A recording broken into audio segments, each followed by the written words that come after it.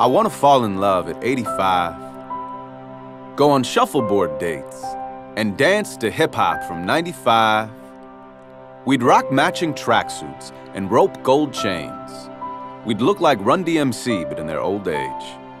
We'd take aerobics classes and wear bifocal glasses and eat at IHOP and hold hands at Sunday masses. And when it comes to the bedroom, well, nothing much would happen in the bedroom because we're 85. But we would still be down to take a walk or take a drive or sit and talk or have a drink, watch the passersby, ask each other why and how and who and where and when, and then we'd laugh and cry again about the people we had been. I would touch her withered skin and comment on how thin it is to keep in something infinite. And she would smile, sweet, and blush, and tell me that I think too much. She's right, I think too much. It's always been a problem. But then again, that's how I made my green like the goblin. When I was in my 20s, I was eating top ramen, counting up my pennies saving up to go food shopping. But now I'm 85, and somehow I feel more alive. I turn my hearing aid up and bump Jurassic 5.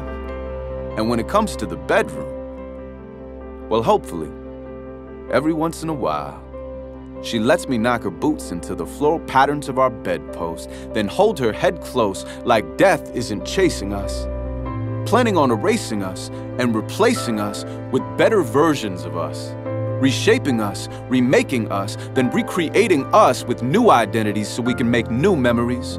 Hush, little baby.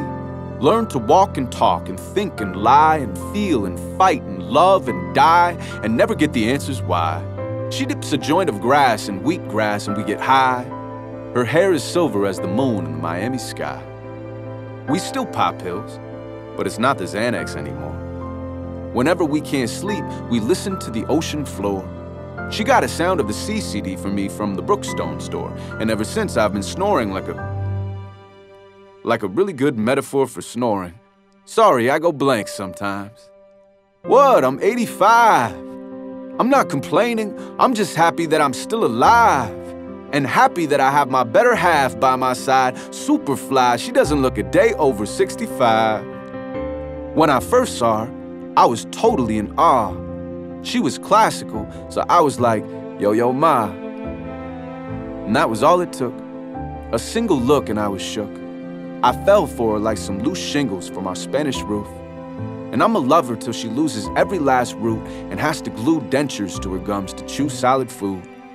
Ooh. Now that's real love, dude.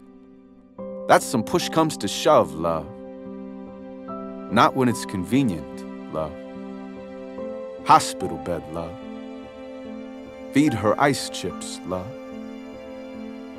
Never leave the room, love. Sleeping in the chair, love. Pray to up above, love.